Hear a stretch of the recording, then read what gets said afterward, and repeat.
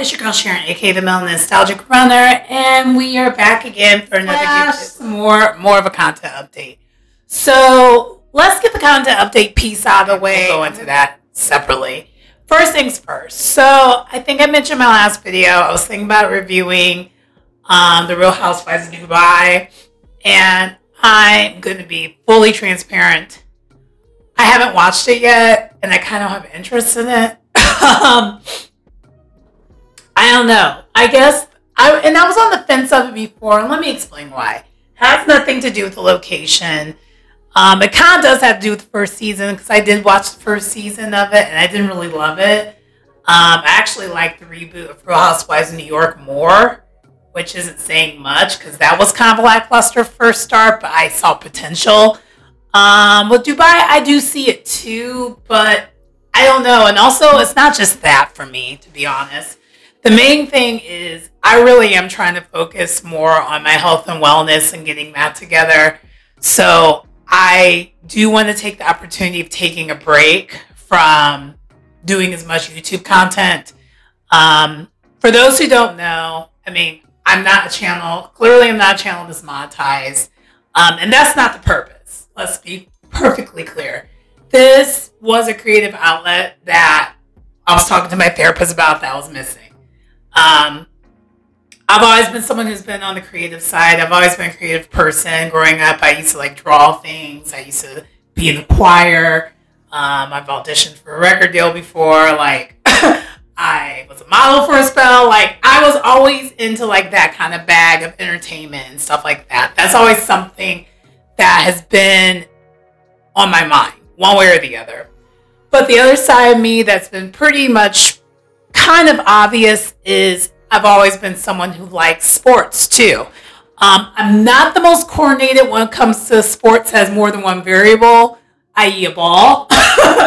but cycling, which is more than one variable, but it's kind of the exception to the rule, and like running, those are the things that I've been very, very good at. And then I'm also someone who's very much into strength training and um, that kind and yoga, clearly. Um, so I'm trying to focus a little bit more on those things, the yoga piece, because I'm also adding swimming into the mix because I am doing a triathlon in July. Um, so I'm trying to focus on that but because I did have that injury back in April, I know I have a lot more work to do. And in order for me to get where I want to be at come October, I really need to go full throttle on the training, lay back on the, on the going out part of things. Um, and the hair won't be hairing as much this year as far as like different looks and whatnot because I'm going to be in the water more. I'm going to be working out. So I, I will be honest. I've I've even thought about like cutting my hair short again because when my hair was short, I meant business. I didn't care about this. It was very much I got to it.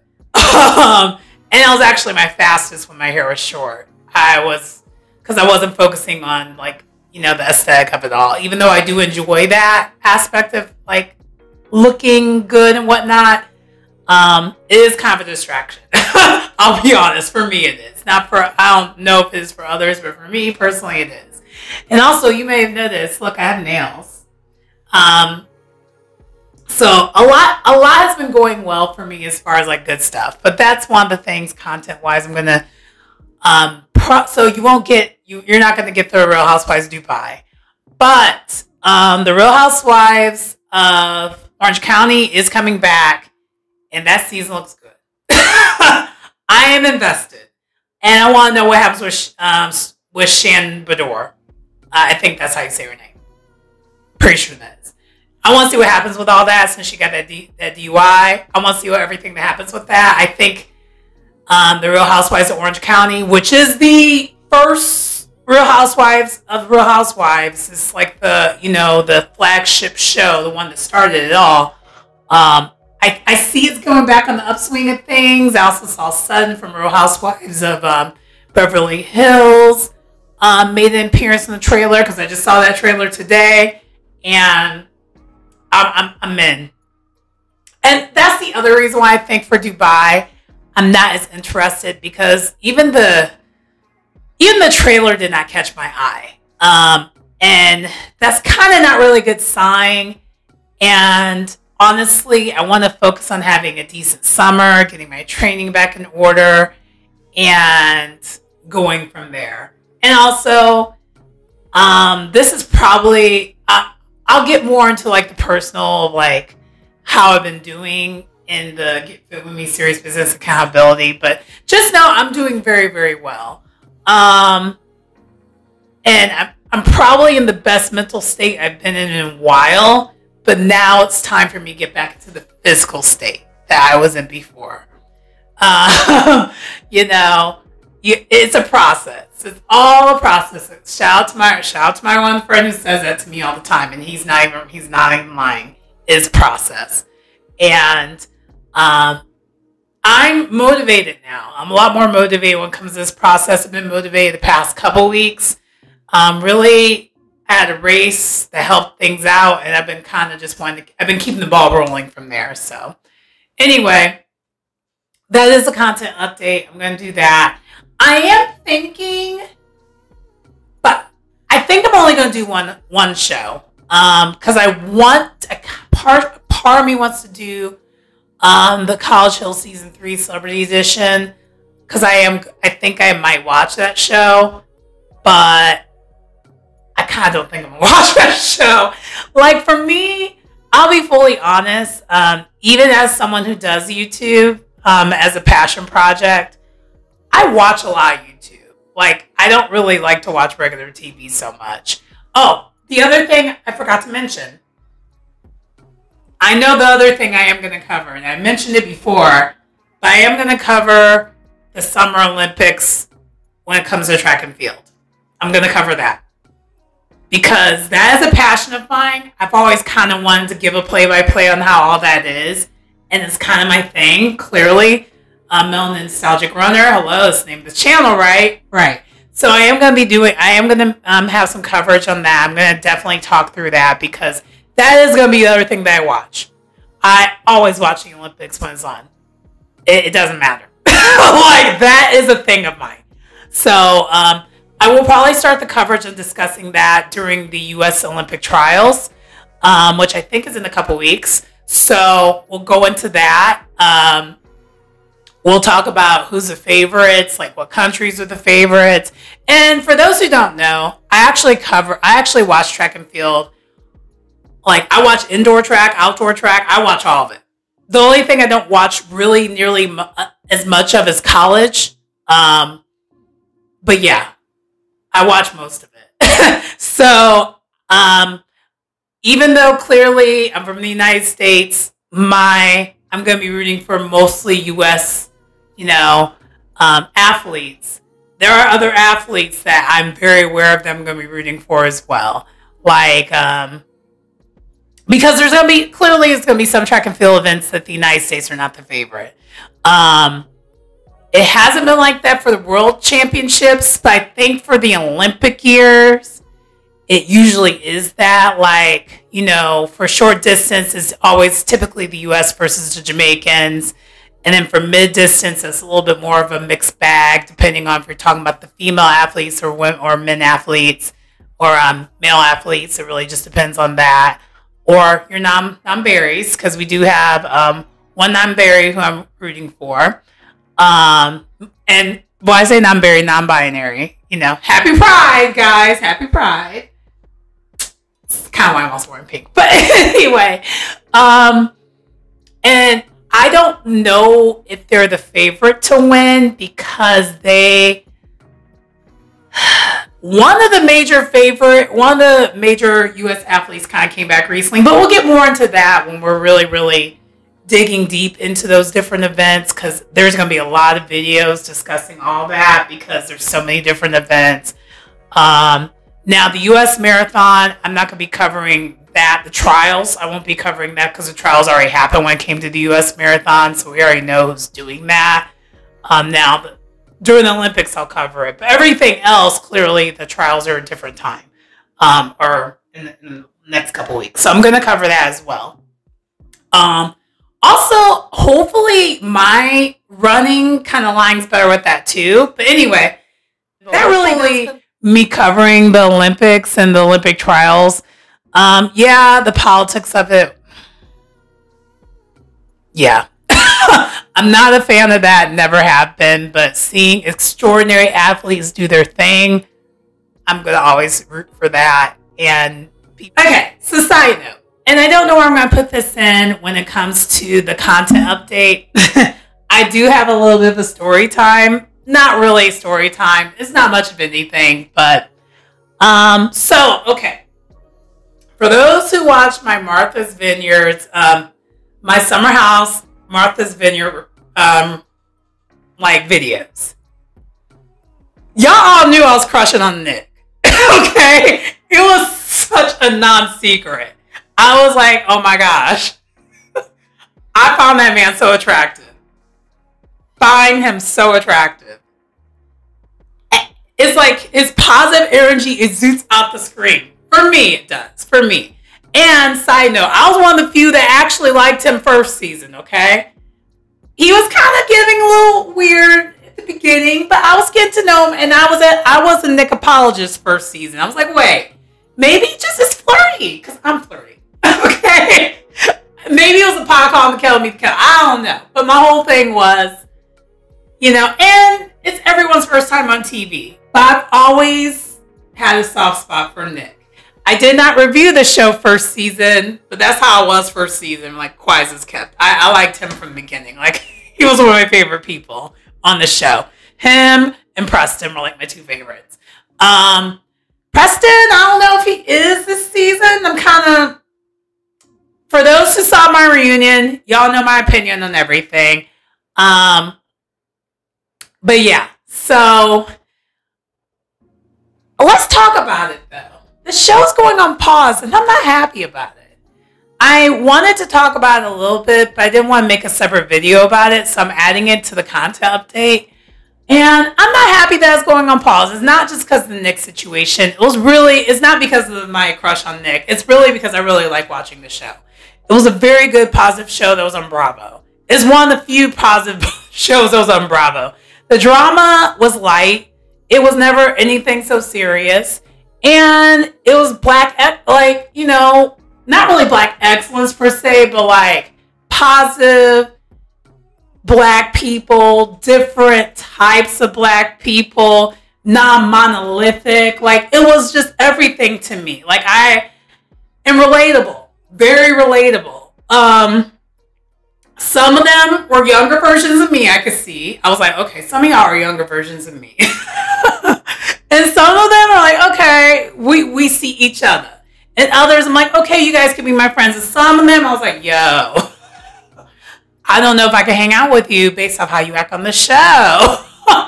but it was a combination of all those things, right? Right. So I'm very sad that this is on pause. I want to know what y'all think what that means. Because Bravo's been putting a lot of shows on pause lately. I mean, a lot. It's not just this show. And do you think there's something going on with Bravo where the money's funny? Because I know NBC Universal's one giant group, but you know, Bravo's like a subsidiary, smaller. You know, I don't know how much money they put into Bravo versus like the other like parts of Universal. So I'm just wondering. I don't know if it has to do with all the things that are going on with Andy Cohen or what, but it's kind of just to me, I don't understand it. And I guess I didn't really care as much when it comes to some of the other shows, to be honest. Um, because I think it's called Family Karma or something like that. I've heard that that show's really cool to watch, and maybe I'll go back and watch it. That I know that show's been put on pause. Van, Vanderpump Rules, that's also got put on pause, and Vanderpump Rules.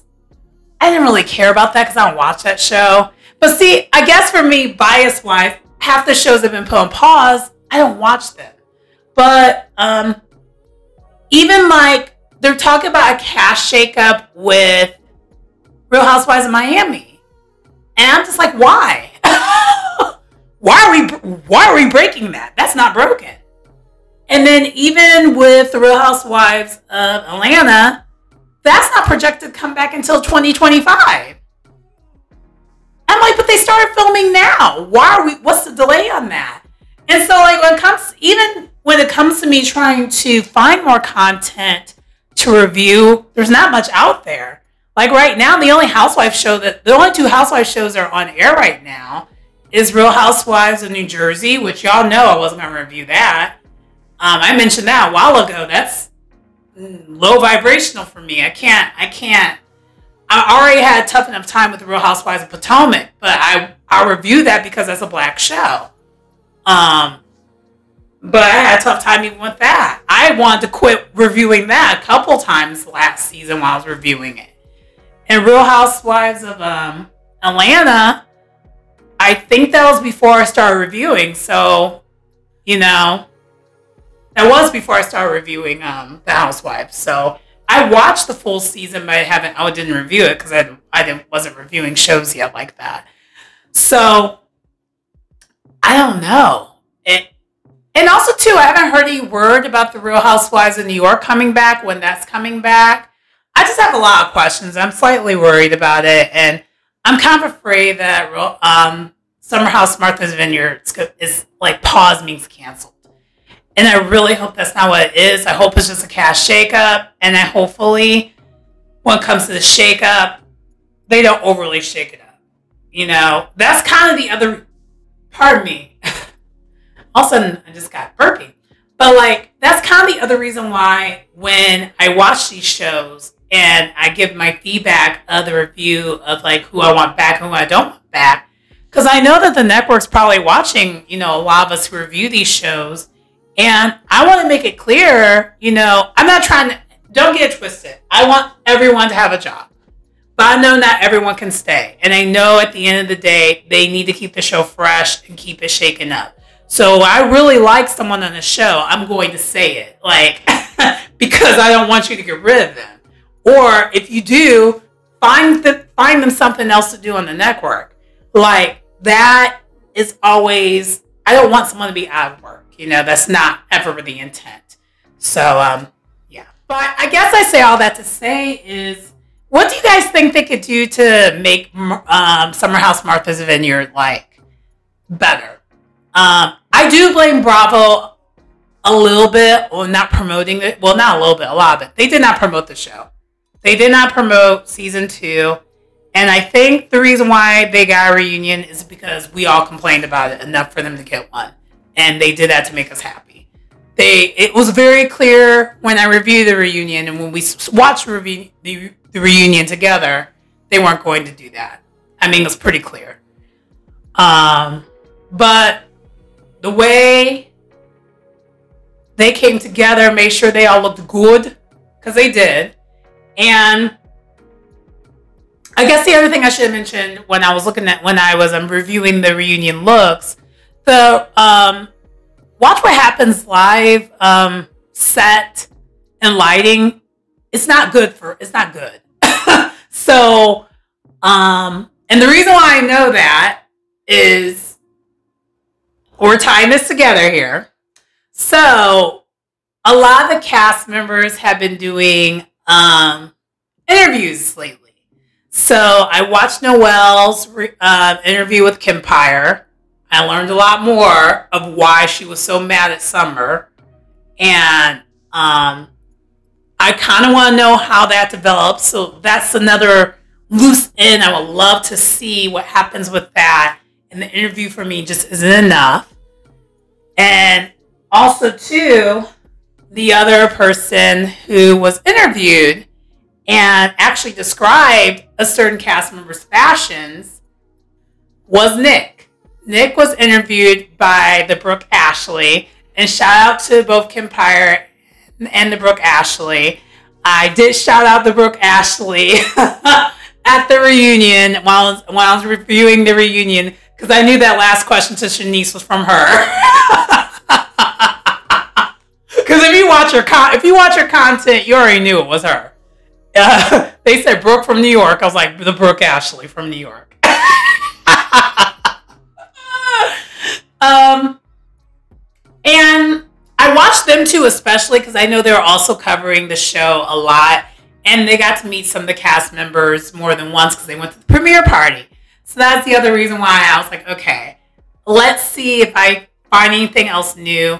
And one thing that I did find out new, and for those who haven't gotten a chance to check out their interviews, I'll put the link in the description. Definitely check out their interviews because the, inter- the interviews were chef's kiss. Um, especially Nick is just, I fell in love with Nick even more after this interview. He is very, very friendly, very, very impressionable. And um, he, he is. Um, and um, I'm trying to hide why I say that because anyway, um, yeah. So definitely check out the interview though. It was a very good listen. And the other thing I would say about that interview that was really really cool was that he described Alex because I said Alex was the best dressed for me. I thought he was the best dressed. But because the lighting for Watch What Happens Live is just not the best, we did not see that his outfit was kind of shimmering a little bit. He had like a little bit of like a shimmering material. And I was like, oh, what? and went back to try to watch um, Watch What Happens Live, like their reunion, to see if I could see it, and I still couldn't see it. So there's that. But you also get to know more of Nick's history. Um, you also get to learn how much running he really does. That man runs. and hello, this channel's called Melanin Nostalgic Runner. You know I love that. Y'all already know I love that, right? So, and one of the things he said that kind of stuck with me at the end was he's doing um, he's doing all the majors again, a lot of them. So he's doing Berlin, um, he's doing. He's debating whether he's going to do New York or not. Because I mean, I'm assuming he's part of the New York Chicago. The sorry, the New York Roadrunners Club. So he probably can just get in. Um, and also too, I think runs fast enough he may qualify. I don't know. Um, I know he's done Boston before. Um, he's doing Chicago this year. And I'm just like, oh, what are you doing Chicago? And part of me wants to ask, and I might, I might ask him um, if, you know, he's running or like, you know, running before that and stuff. Because I mean, I have a running group that we do a shakeout run. So, Nick, you're more than welcome to join my running group who does a shakeout run the day before the marathon. Um, I won't be there, but I do have a running group. I will say that. Um, and because um, unfortunately this year the Chicago Marathon and my 50k are the same weekend, so I'll be doing the 50k the day that people are doing a shakeout run for the Chicago Marathon. But I will be in the area for the Chicago Marathon. I actually be handing out Malort shots. So if you want to do a Malort shot, which I don't think you do, I think you probably just want to get done. hey, but also, too, the other thing I found out in the interview, he's living in Chicago. Didn't know that. I was like, okay, interesting. But so it was a good interview overall. And he basically said, hey, he's very nice, very professional. If you want to follow him on social media, you can. So I right away when I saw that, I followed him on Instagram. I was like, okay, I'm gonna follow him. And um, so and he posts a lot on his Instagram. And yesterday was Global Running Day for those who don't know. And what Global Running Day is, for those who don't run, is, and you don't have to run like, you can run a mile and you're part of the Global Running Day. So I ended up running four miles yesterday and it was, it wasn't the run I wanted because my watch was just acting a fool. Like I kept like resetting my watch. I couldn't get my time together, so I was kind of annoyed. But I did run during um, Global Running Day. And he, you know, put in his like story, his Instagram story, who ran Global Running Day. I was like, I did. And I was like, I did. I ran four miles. And like, just like a response thing. And he replied back. He was like, good job. I was like, why this morning I was like ecstatic. I was like, Nick replied back. And I was like, thank you. I just did a smiley face, and then he loved it. I was like,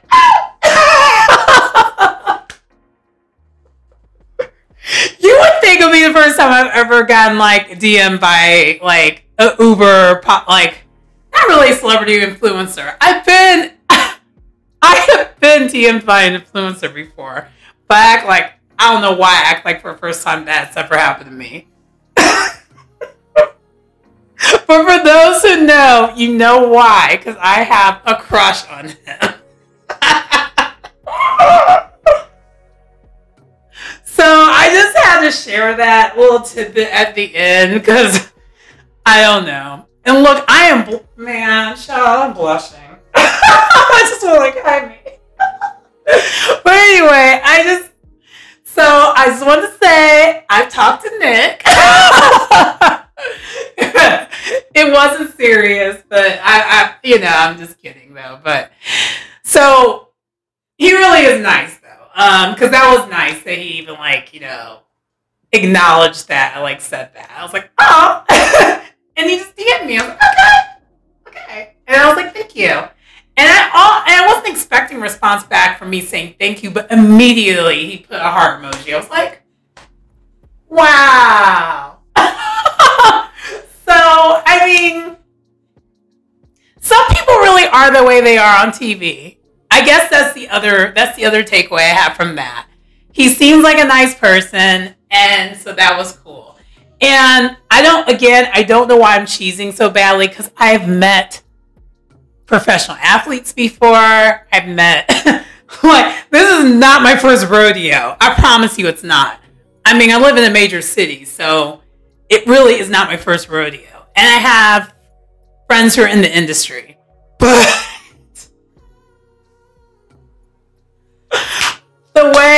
acted like I was 5 years old. I'm still doing it right now. But anyway, so that was a little bit of kind of a little bit of extra when it comes to the content update situation. I do seriously want to know your thoughts and how you feel about this pause um, and what's going on Bravo, just as a whole, not necessarily just Martha's Vineyard. You know that is the program I care the most about when it comes to the pause, but it's happening a lot.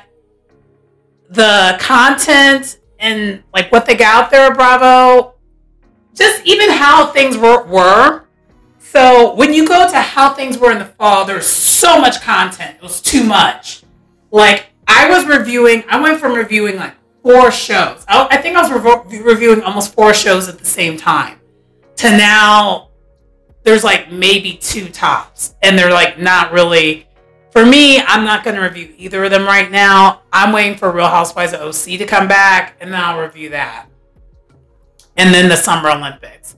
And maybe that's what it is because NBC Universal is part of Bravo. They're maybe putting a pause on the content until after the Olympics and then they're going to get back to it. That's the only thing I could think of is happening right now um, because that is going to affect their ratings and they don't want, and they probably don't want anything to compete with the Olympics. Um, because even the timing of when the Real Housewives of OC comes on, it is a little bit. I it's kind of around the Olympics, but it's kind of not. So maybe that's what it is. Um, I literally just thought of it just now. But anyway, please like, comment, subscribe to the channel if you get anything out of the content. Uh, we don't need talking more about this, but let me know what your thoughts are. Um, it's your girl Sharon, aka the Melanin Nostalgic Runner. And side note, this is gonna be the last time you see this. I'm taking it down tonight because triathlon season starts. Anyway, I will see you next time. Bye.